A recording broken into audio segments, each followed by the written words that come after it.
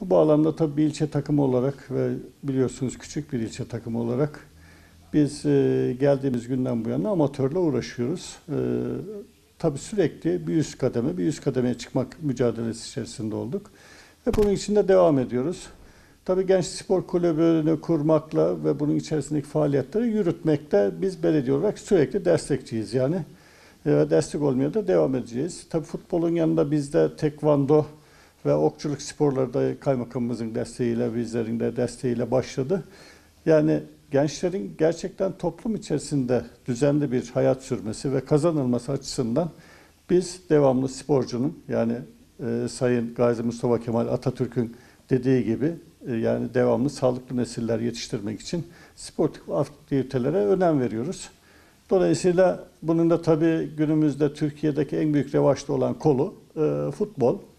Tabii salon sporlarına da inşallah bundan sonra e, kulüp vasıtasıyla yürümeye çalışacağız. Tabii maddi imkanlarımız öl- ölçü verdiği şekilde devam edeceğiz. Şu anda e, Bal Ligi'ne yürüyen bir ilçe takımı olarak hem ilçemizin tanıtımı hem gençlik, gençlere bir rol model olması bakımından da bu takımın sonuna kadar destekçisiyiz. Zaten sportif aktivitelere başlarken biz daha e, 10 yıl öncesinden bu aktiviteleri yürütmeye başladık. E, Şu andaki Sayın Bakanımız Mehmet Muharrem Kasapoğlu'nun Spor Toto daire başkanı olduğu dönemde Allah bin kere razı olsun bize bir destek vermek suretiyle gerçekten ilçemizin en güzel, en güzde yerinde bir tarafta insanların piknik yaptığı, bir tarafta e, çocuklarımızın spor yaptığı gerçekten bir spor tesisi kazandırdık yani. Ve şu anda spor tesisi yönünden hiçbir sıkıntımız yok. Gerçekten standartlar ölçüsünde bir e, stadımız var. Onun yanında antrenman sahamız, onun yanında basket, voleybol. Devam ediyoruz. İnşallah daha da güzelleştireceğiz. Yine futbolcularımızla ilgili arkadaşlarımız transferlere başladılar. E, Fatih hocamız var tabii bu şekilde onun ve yol verdiği şekilde devam ediyoruz.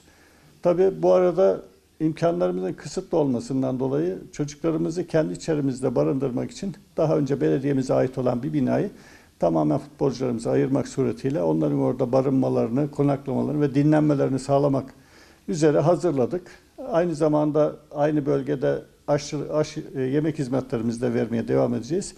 Yani elimizden gelen son çabayı göstererek ilçemizin tanıtımında ve gençlerimizin liderliğinde çocuklarımıza rol model bir örneği aşılamak için tüm gücümüzle çalışacağız. Valla halk olarak zaten e, bizim gençlik yıllarımızdan bu yana e, zaten sportif aktivitelere halkın gayreti, desteği sonuna kadar sürüyor. Ki bu şekilde yetiştirdiğimiz genç çocuklarımız da vardı.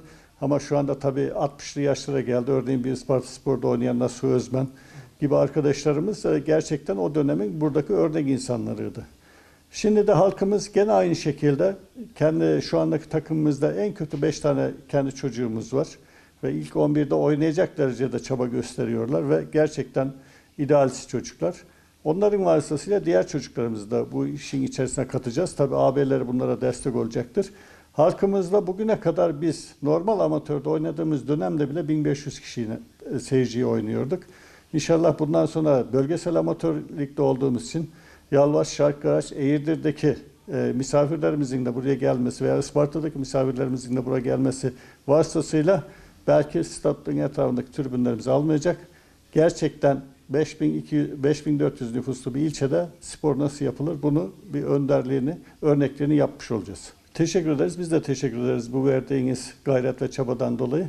İnşallah gerçekten çocuklara örnek olan bir tesisleşmeyle ilçemizi tanıtacağız diyoruz.